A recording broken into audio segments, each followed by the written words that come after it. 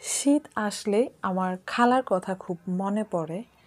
আর আমার খালা হচ্ছে ফার্ম গেটের ওভারব্রিজের গোড়াতে চিতই পিঠা বিক্রি করে, সাথে তেলের পিঠাও আছে। আর এর সাথে আছে অনেক রকমের টেস্টি টেস্টি ভর্তা। সাথে আমার খালাতো ভাইও দাঁড়িয়ে থাকে সব রকম সাহায্য, সহযোগিতা করার জন্য। তো আজ আমি আমার স্বামীকে সাথে করে রিক্সা করে রওনা করলাম হচ্ছে খালার কাছে যাব। যার কেউ নাই, তার জন্য রিক্সা আছে রিক্সা এলো মামা আছে। আমার কাছে হচ্ছে রিক্সা জার্নিটা খুবই ভালো লাগে।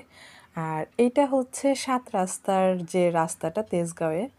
দেখেন, এই যে রাস্তার পাশে যে ট্রাকগুলো আসছে, এটা সরানোর জন্য যে প্রয়াত মেয়র আনিসুল হক, সে কিন্তু অনেক চেষ্টা করেছেন এবং সরিয়েছিলেন।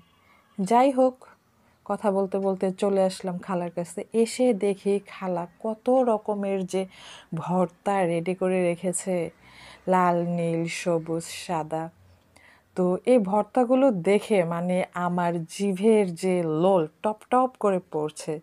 যদিও আমি হচ্ছে ঝাল অতটা পছন্দ করি না, তারপরও হচ্ছে রিক্স নিয়ে খালার পিঠা আর ভর্তা খাওয়া স্টার্ট করে দিলাম।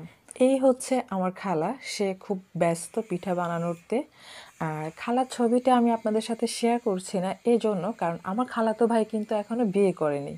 তো সে যাতে ভাইরাল না হয়ে যায়, পরবর্তীতে দেখা যাবে যে খালাতো ভাইয়ের জন্য কিন্তু বউ পাওয়া যাবে না। যাই হোক, শীতের দিনে হচ্ছে চিতই পিঠা ভর্তা খান। ভালো থাকেন।